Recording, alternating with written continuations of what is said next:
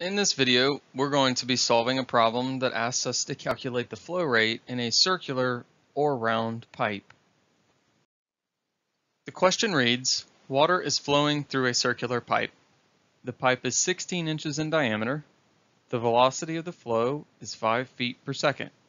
Calculate the flow rate and report the results in gallons per minute.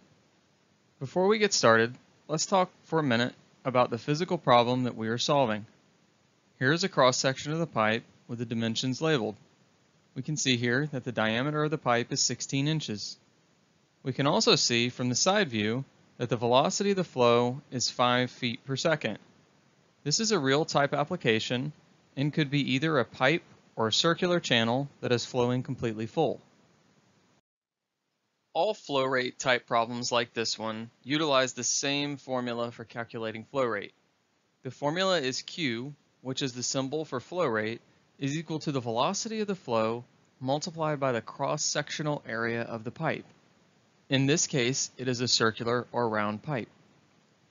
You will also need the formula for the area of the shape of the pipe.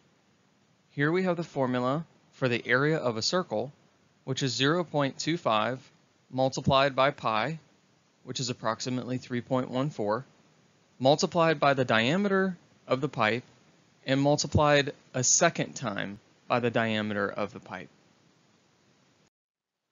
The very first step we want to take in solving the problem is to list out all of the knowns and unknowns given in the problem statement. For this problem, we have been given that the diameter of the pipe is 16 inches and the velocity of the flow is 5 feet per second. The unknown is the flow rate. Let's pause for a second and talk about units. In this problem, the known values have been given to us in a mixture of units. The diameter is in inches, and the velocity is in feet, or feet per second. All the known values must be in a common unit of measure, like feet, before you can use the flow rate formula.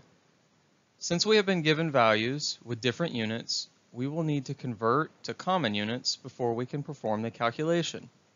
The conversion is straightforward and here we have converted the diameter from 16 inches to 1.33 feet. We are now ready to calculate the answer. The flow rate is equal to the velocity multiplied by the cross-sectional area. The area of a circle is given by 0.25 multiplied by pi, or 3.14, multiplied by the diameter, and multiplied by the diameter again. The resulting calculation is the velocity multiplied by 0.25 multiplied by pi, or 3.14, multiplied by the diameter of the pipe, and multiplied by the diameter of the pipe one more time. Therefore, the flow rate is equal to 5 feet per second times 0.25 times 3.14 times 1.33 feet times 1.33 feet which is 6.95 cubic feet per second.